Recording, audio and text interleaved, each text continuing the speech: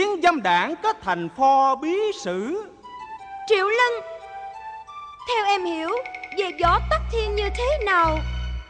Chị nghe em nói nè. Nói.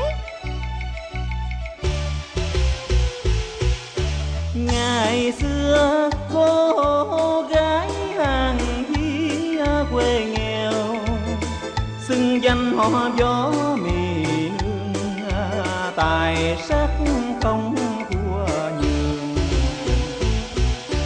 hoàng gia họ lý trời cao khiến xuôi gặp nàng say mê tình sắc rồi đưa vào chốn cung hoàng.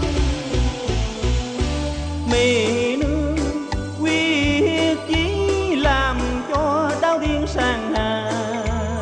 Sau khi vua chết, bà ta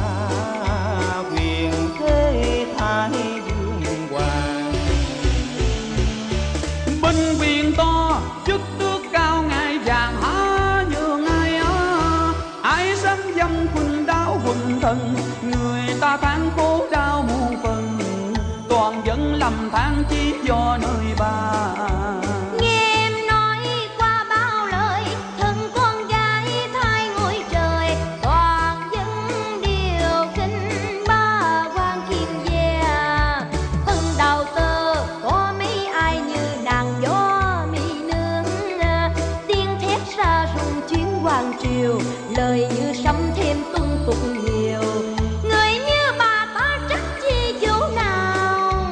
hả thêm khó nguy vong rồi, theo gương xấu thêm suy đồi. Lời khuyên hiền lương, đừng tự dương người xưa bao biện nếu biết lòng em sẽ chân dung, thà phi tan bốn xưa cho rồi.